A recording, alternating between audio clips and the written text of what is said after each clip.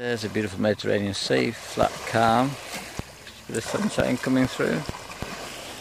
Okay, and then you'll see this is again the answer the Spanish do to the uh, garbage patch in the Pacific.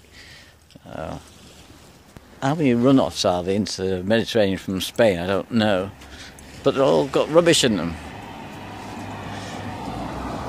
And this is another one that just when it rains, it'll all run off.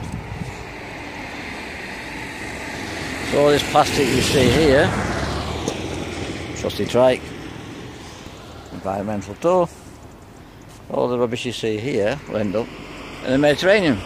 So no one will come and pick it up, for sure. It's all here. And I'm not going to go over there, but you'll see it's all in the bushes over there.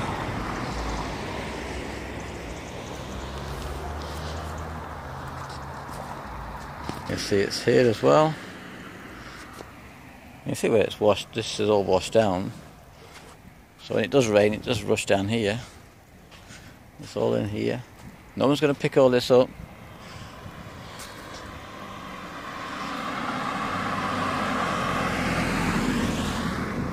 Just look at hanging from the tree, a bush there. Bottles there. And goes all the way along there too. I was just on the other side of the restaurant filming and you can see here people just come and dump the rubbish. That's for the beaches, but look, it just comes out down through the drains as well. It's all down here, bottles and cans and plastic bits and pieces. And you talk about the garbage patch, I keep saying it, you've got no idea how much rubbish is actually going out into the ocean.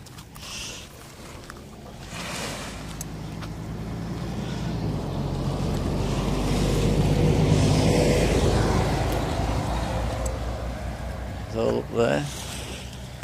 Like I said, it's all along here too.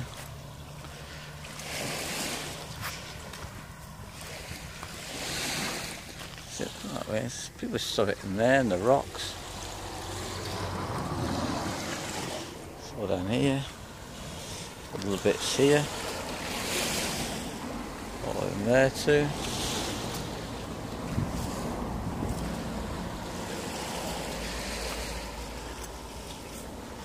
Just carry on, you'll just see how much plastic rubbish there is.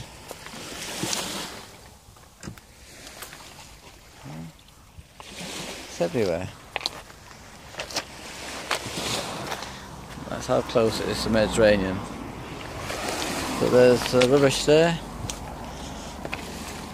It's about six foot away from the ocean, from the sea. You can actually see bits of it floating over there actually.